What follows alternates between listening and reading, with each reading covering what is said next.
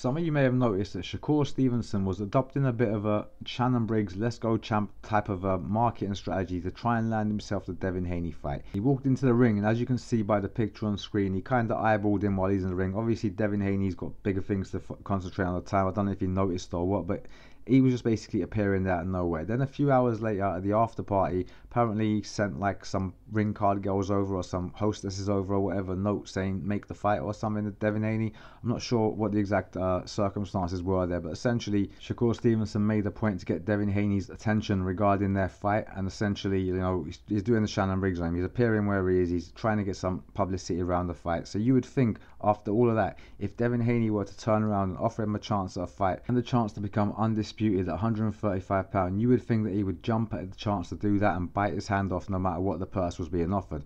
But it turns out that's not the case. Now, I don't know if this offer's been officially made, but I know it's been spoken of. I'm guessing it's got back to Shakur Stevenson that the, the amount they're looking to offer him for that fight is 25%. And for some reason, he thinks he's above 25%. I can't work out why.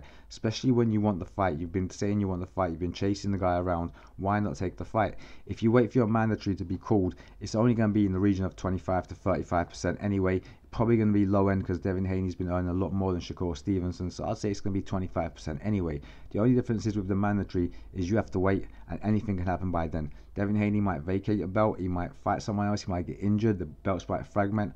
Who knows? This is your chance for a semi decent money fight. I say semi decent. Devin Haney's undisputed. He's got a little bit of a following. I mean, people are starting to catch on to him now. Like he's got a bit of a cult following out there in the States. I mean, people might deny that or whatever, but I see what I see. And he's building a little bit of a fan base and he's way bigger name than Shakur Stevenson is like. It's not even close. Some people know Shakur Stevenson because they watch ESPN boxing or whatever. Other people remember him from the uh, the L that he took in the Olympics where he started crying.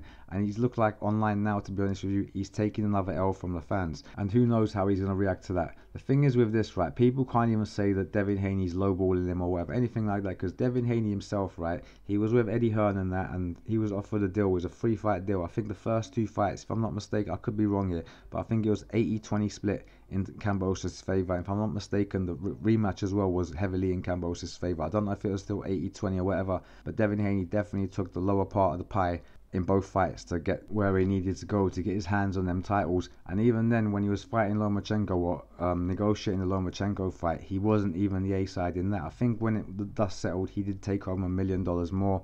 Um, on their guaranteed purse, I think one was four million, one was three million. But the the fight happened when Lomachenko wanted to happen and not when Devin Haney wanted it to happen. Because Devin Haney wanted it to happen um, before Ramadan, but the fight happened after Ramadan. So if Devin Haney had to say as the A side, I'm sure it would have been before Ramadan. But obviously he didn't have that pull then. But now he's basically a free agent. He's won undisputed. He's beaten Lomachenko, and in my opinion, he's given Shakur Stevenson a very fair offer to have a fight at 25%.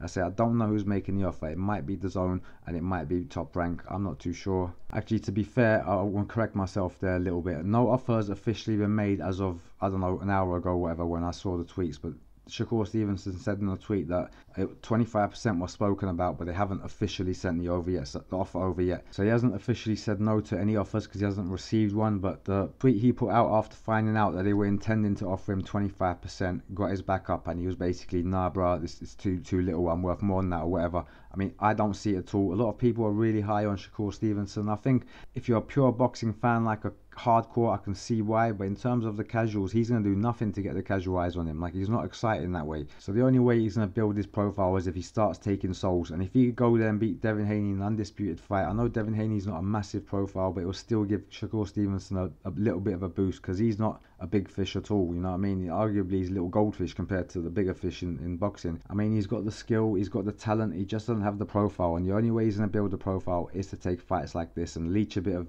the other person's profile every time he beats them. If he's kicking up a fuss for 25% and a shot undisputed, I don't know where his head's at to be honest with you because it's not going to get much better than that. Some people are trying to say that he can get up to 45% if they go the mandatory route. That's only for an interim champion. Um, and that doesn't even work. If you guys remember the Dillian Whyte route, he, he thought he was going to get 45% against Tyson Fury, end up taking on 70.5% or whatever it was. So even if he did get himself into an interim title type of position, they're, they're going to basically refer to the purses that the, the two fighters have been getting previously. I'm pretty certain that Devin Haney would be earning a lot more than Shakur Stevenson. So it may well work out that he ends up getting less than 25%. If I was him, I would take the bird in the hand. These guys obviously want to make a fight or they're exploring the idea for it. And him going on social media saying that's not enough, it, he hasn't done himself any favours because it makes people think you're insincere for winning that fight because we all saw what Devin had to do to, to go and get them titles. So if he's offering you 25% for a chance to win them titles, I think that's more than fair. I think Shakur Stevenson needs to take it or it's going to be a massive L